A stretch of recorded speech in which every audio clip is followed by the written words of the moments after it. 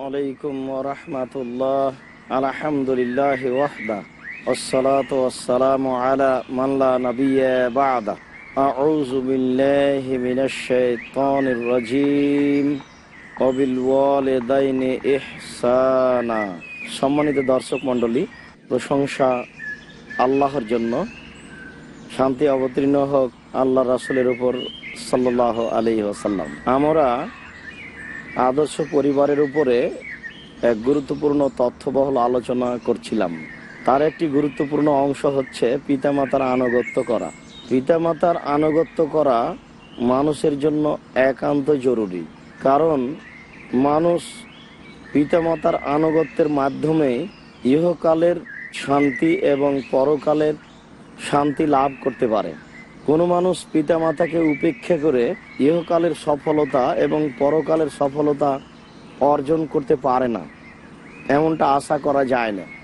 রসুল সাল্লাহ আলী আসাল্লাম বলেছেন, রেজার রব্বে রেজাল ওয়ালেদান। পিতামাতার সন্তুষ্টি হচ্ছে আল্লাহ তালার সন্তুষ্টি।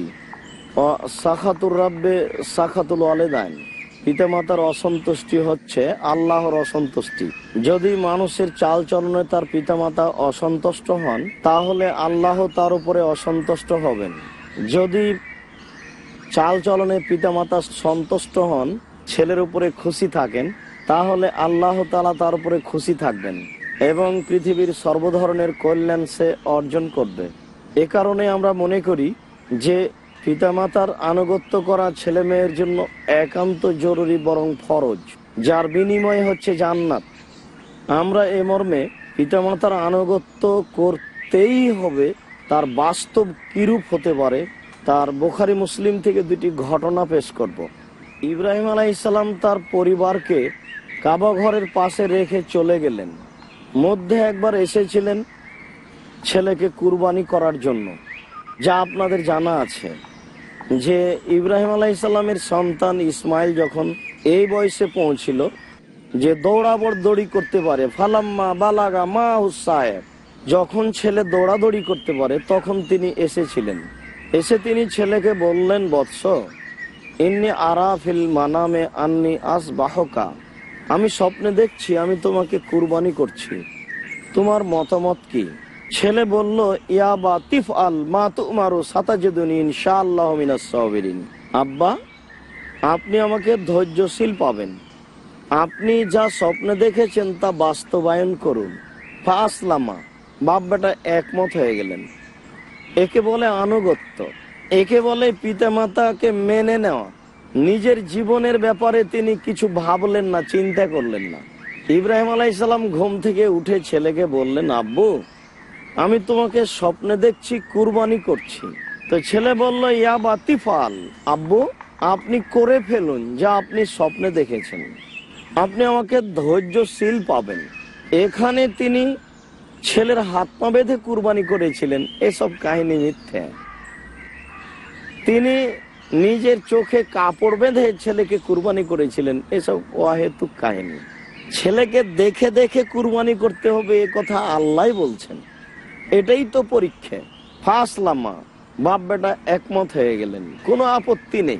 অতাল্লাহলি যাবিন উপুর করে ছেলেকে সইয়ে দিলেন। এরপরে বারবার ছুরি চালাচ্ছেন। আল্লাহ তালা বলছেন, ইয়া এব্রাহিম কাদসাদ ডাক্তার রুইয়া। এব্রাহিম তুমি তোমার স্বপ্নকে বাস্তবায়ন করেছ। এব্রাহিম তোমার সন্তানকে কুরবানি করতে হবে, এই প্রয়োজন আমার নেই। আমি দেখছিলাম, তুমি পরীক্ষায় পাস করতে পারো কিনা। এব্রাহিম তুমি পরীক্ষায় পাস করে গেছো। ইব্রাহিম আলাইসাল্লাম ছেলের এই অবস্থা রেখে চলে গেলেন। ইব্রাহিম আলাইসাল্লামের স্ত্রী ছেলের বিবাহ দিলেন। এক পর্যায়ে ইব্রাহিম আলাইসাল্লাম আসলেন। বাহির থেকে এসে দরজায় আঘাত করলেন। বোখারি, মুসলিমের লম্বা হাদিস। আঘাত করতে ভিতর থেকে বললেন, কে? ইব্রাহিম আলাইসাল্লাম বললেন, বাড়িতে কেউ আছে কি? ভিতর থেকে বললেন, কেউ নেই। কোথায় গেছে? শিকার করতে গেছে। কখন আসবে? সন্ধ্যায় আসবে। কেমন আছো? খুব একটা ভালো নেই। আচ্ছা ঠিক আছে। আসলে সালাম দিও আর চোখ আট পরিবর্তন করতে বলিও। ইসমাইল আলাইসাল্লাম সন্ধ্যার সময় বাড়িতে এসেছেন। বাড়ির কিছু লক্ষণ দেখে আঁচ করেছেন। আব্বা এসেছিলেন। তিনি ভিতরে ঢুকে বলছেন, আজ কি বাড়িতে কেউ এসেছিল? হ্যাঁ একজন বৃদ্ধ মানুষ এসেছিলেন। কি বললেন? কেমন আছো? বললেন, বাড়িতে আছে কি? আমি বললাম, নেই। কোথায় গেছে? শিকার করতে গেছে। কখন আসবে? সন্ধ্যায় আসবে। কেমন আছো? খুব একটা ভালো নেই। তারপরে তিনি কি বললেন? তারপরে তিনি বললেন, আসলে আমার সালাম দিও আর বাড়ির চোখ আট পরিবর্তন করতে বলিও। ওহো! তিনি আবার আব্বা। তিনি তোমাকে তালাক দেওয়ার জন্য বলেছেন। তুমি সুন্দর উত্তর দিতে পারোনি। যখন আমার আব্বা বলেছিলেন, তুমি কেমন আছো? তখন তোমাকে বলতে হতো, আলহামদুলিল্লাহ। প্রত্যেক অবস্থার উত্তর হলো, আলহামদুলিল্লাহ। আল্লাহ যে অবস্থাতে রেখেছেন, এটাই অনেক। এ কারণে উত্তরে বলতে হবে, আলহামদুলিল্লাহ। এটাই বাঁচার পর তো তোমার উত্তর ঠিক হয়নি। তিনি আমার আব্বা তোমাকে তালাক দিতে বলে গেছেন। ইলহাকি এলা আহালে, তুমি তোমার পরিবারের সাথে মিলে যাও, চলে যাও। সম্মানিত দর্শক মন্ডলী পিতা বলে গেছেন তালাক দিতে। ভাববার কোনো সুযোগ নেই। স্ত্রী কত বড় বুদ্ধিমতী, এটা বিবেচনার সুযোগ নেই। স্ত্রী কত বড় শিক্ষিতা, এটা চিন্তা ভাবনা করার অবকাশ নেই। স্ত্রী কত বড় চাকরি করে, এ নিয়ে হিসাব নিকাশ করার কোনো সুযোগ নেই। তিনি বললেন, আমার পিতা বলে গেছেন তোমাকে তালাক দিতে ইলহাকে ইলাহালে তুমি তোমার পিতার বাড়ি চলে যাও। সম্মানিত দর্শক মন্ডলী আমি এইভাবে বলি না যে আপনাদের পিতা মাতা যদি আপনাদের স্ত্রীকে তালাক দিতে বলে, এখনই দিতে হবে, আমি তা বলি না। তবে যদি আপনি বুঝতে পারেন যে আসলেই সে আমার পিতা মাতার সাথে অন্যায় করছে, কেন জানি আল্লাহ ভালো জানে নারীরা সাধারণত শ্বশুর শাশুড়িকে মেনে নিতে পারে না, পারে খুব কম। বিবাহর পূর্ব পর্যন্ত ছেলে ছিল তার শাশুড়ির। বিবাহর পরই কেন জানি হয়ে গেল তার। তার উপার্জিত অর্থ সম্পদ সে তার শ্বশুর শাশুড়িকে কেন জানি দিতে চায় না, সাধারণত চায় না। দিলেও খুব কষ্ট হয়, অথচ প্রত্যেকেই জানে যে একটা ছেলে লালন পালন করতে কত কষ্ট করতে হয়। আপনি একজন বৌমা, আপনার তো দু একটা সন্তান আছে আপনি তো তাকে লালন পালন করছেন। আপনি আপনার বিষয়টি ভাবুন। এত আদর করে, যত্ন করে, স্নেহ করে, ছেলে মানুষ করে যদি ছেলে কিছুই অনুকূলে না থাকে, তাহলে কি পিতামাতার জন্য এটা একটা দুঃখজনক ব্যাপার নয়? এটা কি একটা আফসোসজনক ব্যাপার নয়? এটা কি একটা কষ্টকর ব্যাপার নয়? আমরা প্রত্যেকেরাই, আমাদের মা বোনেরা যদি নিজের বিষয়টি ভাবেন তাহলে অবশ্যই শ্বশুর শাশুড়ির বিষয়টি ভাবতে পারবেন। আমরা অনুরোধ করে বলব, দেখুন, শ্বশুর শাশুড়িকে যথাযথ মূল্যায়ন না করে কেউ ইহকালে সফলতা অর্জন করেছে, এটা আমরা জানি না। পরকালে সফলতা অর্জন করার কোনো প্রশ্নই আসে না। এটা অসম্ভব। যে কোনো মূল্যে শ্বশুর শাশুড়িকে পিতা মাতাকে মেনে নিতে হবে, এটাই চূড়ান্ত সিদ্ধান্তের কোনো বিকল্প নেই। আমরা অনুরোধ করব তাদেরকে মূল্যায়ন করার জন্য। আমরা বোখারি মুসলিম থেকে এরকম একটা বিশাল ঘটনা নকল করছি, যাতে আমরা বুঝতে পারব পিতামাতাকে কীভাবে মূল্যায়ন করতে হবে। এরপরেও এই অংশে আমরা আর বলি যে, ইব্রাহিম আলাইসাল্লাম এই বলে চলে গেলেন। বহুদিন পরে তিনি আসলেন, দরজায় আঘাত করলেন। ভিতর থেকে বলল, কে? তিনি বললেন, বাড়িতে আছে। ভিতর থেকে বলল, নেই। কোথায় গেছে? শিকার করতে গেছে। কখন আসবে? সন্ধ্যায় আসবে। কেমন আছো? আলহামদুলিল্লাহ। কি খাও? গোস্তার পানি। আচ্ছা ঠিক আছে। আসলে সালাম দিও। আর বলে দিও যে চোকাট বহাল রাখতে বলেছে। সন্ধ্যার সময়তে আসতেই তিনি বুঝতে পেরেছেন আব্বা এসেছিলেন।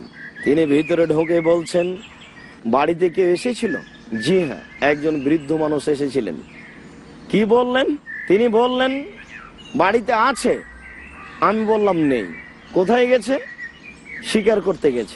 কখন আসবে? সন্ধ্যায় আসবে। কেমন আছো? আলহামদুলিল্লাহ। তারপর কি বললেন? তারপর বললেন আচ্ছা ঠিক আছে। আসলে সালাম দিও আর চোখ আট বহাল রাখতে বলিও। আচ্ছা তুমি আমার স্ত্রী স্থায়ীভাবে থাকবে? এ কথা আমার আব্বা বলে গেছেন। আমার আব্বা বলে গেছে যে চোখার জন্য বহাল রাখে। তুমি আমার স্ত্রী হিসাবে থাকো। তুমি ও সুন্দর উত্তর দিয়েছ। উত্তর মানে আলহামদুলিল্লাহ ভালো আছি। সম্মানিত দর্শক মন্ডলী দেখুন একটা কথার উনিশ বিশে ইব্রাহিম আলাইসাল্লাম বৌমা রাখতে বললেন, বৌমা ত্যাগ করতে বললেন। আমরা এখান থেকে বুঝতে পারছি যে ইব্রাহিম আলাইসাল্লাম কীভাবে তার স্ত্রীর বিষয়টি বললেন আর কীভাবে ইসমাইল আলাইসাল্লাম পিতার কথাকে গ্রহণ করলেন? পিতা যা বলে গেছেন তাই হলো। এক চুল কমও নয়, এক চুল বেশিও নয়। অতএব আমরা দর্শক মন্ডলীর কাছে বোখারি মুসলিমের এই হাদিস অনুযায়ী চলার জন্য অনুরোধ করব। আল্লাহ তৌফিক দান করুক। সম্মানিত দর্শক মন্ডলী আমরা কিছু সময়ের জন্য বিরতিতে যাচ্ছি। ইনশাল্লাহ বিরতির পরেই এই বিষয়ে আরও গুরুত্বপূর্ণ তথ্যবহুল আলোচনা হবে। আসসালামু আলাইকুম রহমতুল্লাহ। আসসালামু আলাইকুম রহমতুল্লাহ। সম্মানিত দর্শক মন্ডলী আপনারা যে ধৈর্য ধারণ করে বসে আছেন, এই জন্য আপনাদের আমরা শুক্রিয়া আদায় করি। আল্লাহ তালা আপনাদের যাচায় খায়ের দান করুক। আমরা বলছিলাম যে পিতা মাতার আনুগত্য কীভাবে করতে হবে, তার আমরা একটা বাস্তব পরিস্থিতি নকল করব। যাতে করে আমরা প্রত্যেকে আঁচ করব যে এইভাবে আনুগত্য করতে হয়। আব্দুল ইবনে উমার রাজিয়াল্লাহ তালাহ বলেন রসুল সাল্লাহ আলহি আসাল্লাম বলেছেন, তিনজন লোক রাস্তায় হাঁটছিল। অনেক দিন আগের কথা। হাঁটতে হাঁটতে তাদের উপরে বৃষ্টি চলে আসলো।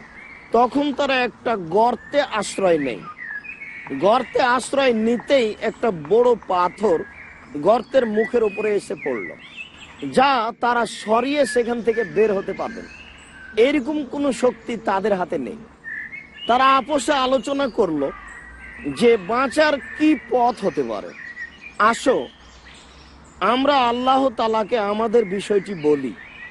নিজ নিজ ভালো কর্ম পেশ করে বলি, আল্লাহ, আমরা এই কাজটা যদি তোমাকে সন্তুষ্ট করার জন্য করে থাকি, তাহলে আজকে তুমি বিপদ থেকে আমাদের উদ্ধার করো, বিপদ থেকে তুমি বাঁচাও। আমরা এইভাবে আল্লাহকে বলি। আমাদের নিজ নিজ কাজগুলি পেশ করার পরে আল্লাহ তালাকে বলি ইনশাল্লাহ আল্লাহ আমাদের কথা গ্রহণ করবেন। এ বলে তিনজনের একজন বলল আল্লাহ দানে শেখানে কাবিরানে। সারাদিন ছাগল চড়িয়ে সন্ধ্যায় নিয়ে এসে দুধ দহন করে আমার ছেলে মেয়েকে পান না করিয়ে আমার পিতা মাতাকে আগে পান করাতাম। তারপরে আমার ছেলে মেয়েকে পান করাতাম, এটা আমার গতি ছিল, এটা আমার নীতি ছিল। প্রতিপালক, আমি একদিন পাশে ঘাস না পায় দূরে ছাগল চড়াতে চলে যাই।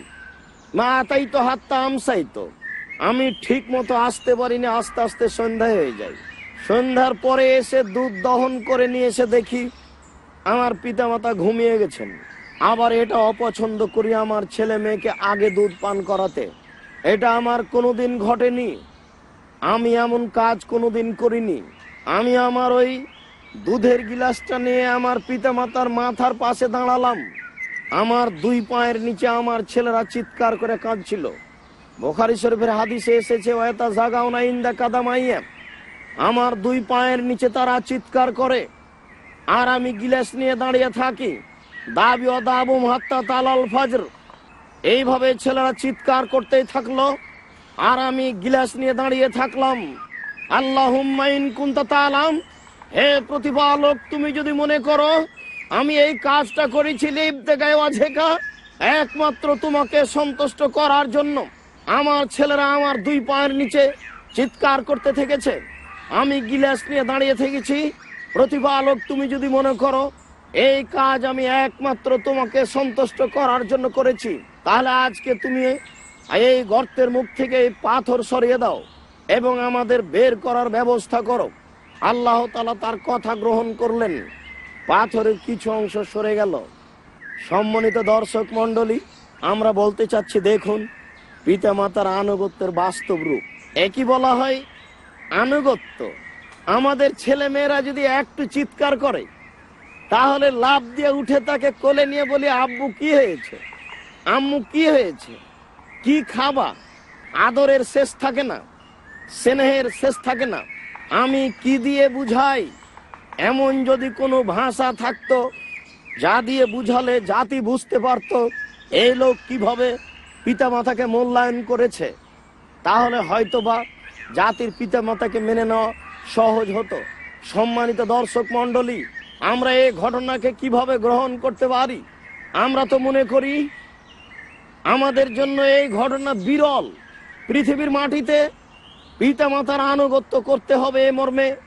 এর চেয়ে বিরল ঘটনা কোনোদিন ঘটেনি যে পিতামাতার আনুগত্যের জন্য এর চেয়ে কি আর পৃথিবীতে কোনো বিরল ঘটনা আছে? আমরা তো মনে করব এটাই পৃথিবীতে একটা বিরল ঘটনা। যার দৃষ্টান্ত পৃথিবীর মাটিতে নেই। আমরা এই ঘটনার ভিত্তিতেই বলব যে পিতামাতাকে আসুন আমরা এইভাবে মূল্যায়ন করার চেষ্টা করি, যার ফল দুনিয়াতেই পাব। দেখুন, দুনিয়াতে ফল পেয়ে গেল, বিপদ থেকে বেঁচে গেল। তিনজনের দ্বিতীয় জন ছিল একজন মানুষ, তার চাচাতো বোনের সাথে অন্যায়ের অদা অঙ্গীকার করেছিল। তার চাচাতন বলেছিল, এই পরিমাণ পয়সা দিলে আমি অন্যায়ের সম্মতি জানাব। সে এই পরিমাণ পয়সা নিয়ে উপস্থিত হয়ে গেল। সে অন্যায় আরম্ভ করবে এমতো অবস্থায় ওই মহিলা বলল, ইয়া আবদাল্লাহ, ইত্তাকিল্লাহ। হে আল্লাহর বান্দা, আল্লাহকে ভয় করো। এই মোহরাঙ্কিত জিনিসকে খলো না। প্রতিপালক, আমি এই কথা বলার সাথে সাথে অন্যায় বন্ধ করেছি। তোমাকে বিশ্বাস করি। তোমাকে লাশারিক বলে জানি। তুমি এক অদ্বিতীয় সৃষ্টিকর্তা। তোমাকে সন্তুষ্ট করার জন্য যদি আমি এই অন্যায়কে বন্ধ করে থাকি, তাহলে তুমি আজকে গর্তের মুখ থেকে পাথর সরিয়ে দাও। আল্লাহ তালা গর্তের মুখ থেকে পাথর সরিয়ে দিলেন। সম্মানিত দর্শক মন্ডলী আল্লাহ তালা বলেছেন অনাহান নাফসা হাওয়া কেউ যদি নিজেকে অন্যায়, অশ্লীল থেকে বিরত রাখতে পারে, তাহলে তার জন্য থাকার জায়গা হচ্ছে জান্নাতুল মাওয়া। এখানে তো আমরা বোখারি মুসলিমের হাদিসে বুঝতে পারছি যে এই লোকটার একটা বিশাল ব্যাপার। অন্যায় থেকে নিজেকে একেবারে বিরত করে নেওয়া অন্যায় থেকে নিজেকে দূরে সরিয়ে নেওয়া আল্লাহ তালা হাতে হাতে তার কথা গ্রহণ করলেন। গর্তের মুখ থেকে পাথরের কিছু অংশ সরিয়ে দিলেন। তিনজনের তৃতীয় জন বলল আল্লাহ তালাম হে আল্লাহ, তুমি যদি জানো, আমি ইস্তাজার তো আজিরান। আমি একটা কাজের লোক নির্ধারণ করেছিলাম পয়সার বিনিময়ে। ফামেল আলী নিসফান্নাহার সে অর্ধেক দিন কাজ করেছিল। অর্ধেক দিন কাজ করে সে চলে যায়। সে অসন্তুষ্টি প্রকাশ করে। সে পয়সা নেয় না, পয়সা ছেড়ে চলে যায়। আমি ওই পয়সাকে বাড়াতে থাকি। দিন যায়, রাত্রি যায়। আমি ওই পয়সাকে অনেক পরিমাণে করে দিলাম। হঠাৎ একদিন চলে আসলো। অতালাবা আজরাহু, সে তার পয়সা চাইলো। আমি বললাম, খুজ হাজ আল মাল কুল্লাহ। তুমি এই সব সম্পদ নিয়ে নাও। সে সব সম্পদ নিয়ে চলে গেল। তুমি ভালো জানো আমি যদি চাইতাম, তাহলে নির্ধারিত পয়সার বেশি দিতাম না। এটা আমি চাইলে তাই করতে পারতাম। কিন্তু আমি তা করিনি। আমি তাকে সব পয়সা দিয়ে দিয়েছি। রাজা রাহমাতিকা অখাসিয়াতে আজাবেকা একমাত্র তোমার রহমতের আশায়, তোমার শাস্তির ভয়ে প্রতিপালক আমি তাকে সম্পূর্ণ দিয়ে দিয়েছি তোমার রহমতের আশায়, তোমার শাস্তির ভয়ে। তুমি যদি মনে করো, আজকে আমি এই কাজটি সত্যিকারই তোমাকে সন্তুষ্ট করার জন্য করে থাকি, তোমার রহমতের আশাই করে থাকি, তাহলে তুমি বিপদ থেকে উদ্ধার করো। এই পর্যন্ত বলতেই আল্লাহ তালা গর্তের মুখ থেকে পাথর সম্পূর্ণরূপে সরিয়ে দিলেন। তারা গর্ত থেকে বের হয়ে গেল। সম্মানিত দর্শক মণ্ডলী, আমরা এই হাদিস থেকে প্রথমে যেটা গ্রহণ করব, সেটা হচ্ছে পিতামাতার আনুগত্য করার বিষয়টি বিরল। এই ঘটনায় আমাদের জন্য যথেষ্ট, আমরা কীভাবে পিতামাতাকে মূল্যায়ন করব। এরপরে যেটা আমরা ভাববো, বুঝব, সেটা হচ্ছে এরকম পাপ থেকে কেউ যদি সরে যায়, তাহলে বিনিময় জান্নাত। যে কোনো সমস্যা থেকে বেঁচে যাবে। পরের বিষয়টি বুঝতে পারছি, আমরা যদি মানুষের উপকার করি তাহলে এর জন্য আমরা ভিন্ন ফল ভোগ করতে পাবো। আমরা এখান থেকে আর একটা জিনিস বুঝতে পারি।